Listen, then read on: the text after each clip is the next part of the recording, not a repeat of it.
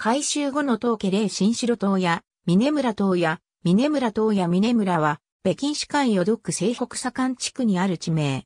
北京市中心部を外れた北西にある。2006年頃からは高学歴低所得の若者、いわゆるアリ族が多く住むことで知られる。2021年6月18日開業の統計、レイアウトレット元からの住民2000人のほか、アリ族と呼ばれる低所得の若者が6万人住む。そのうち7割は大卒者である。2005年から2007年頃にかけて、この手の住民が増えた。元から住む住民に対して、近年住む若者たちは外地人と呼ばれる。部屋はおおむね狭い。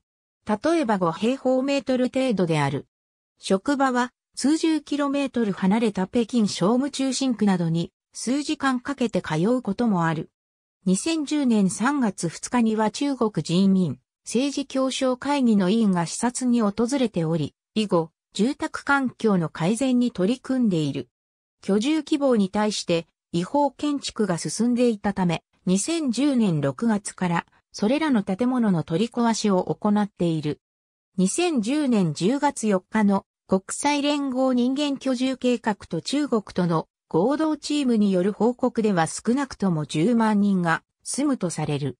人民網は2013年7月、東谷峰村は2009年から始まった改修プロジェクトにより、古い家屋1153棟を撤収させるなどして、近代都市に生まれ変わったと報道している。